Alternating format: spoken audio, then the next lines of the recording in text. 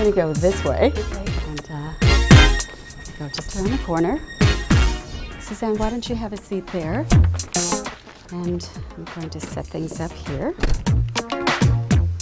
Days begin early and end late. She conducts interviews, gives life to community service campaigns, and juggles the responsibilities that come with wearing many hats. You may recognize her voice or her work from Power 99, WDAS, Radio 1045, My 1061, Rumba 1480, or Q102. She is Lorraine Ballard Morrill.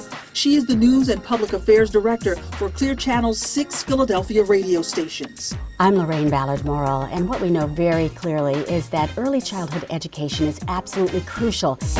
Drawn to radio because of its potential to empower people, Lorraine has created numerous successful award winning radio campaigns that rally against prejudice, violence, and drug abuse or promote AIDS awareness, racial harmony, literacy, and human rights. Her work affects people's lives. The book is Aiming High and Success by Six. Just can you just kind of describe it to me real quick? Sure. Success by Six is one of the priority strategies of United Way.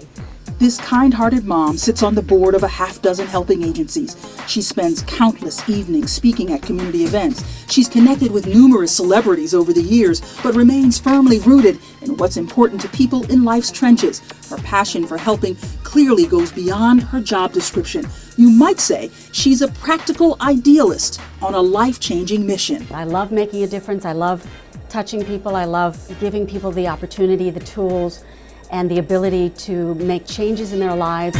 Born in El Paso, Texas, the multiracial child of Japanese and African American parents who supported the civil rights movement, Lorraine has dedicated her life to promoting interethnic tolerance and social justice.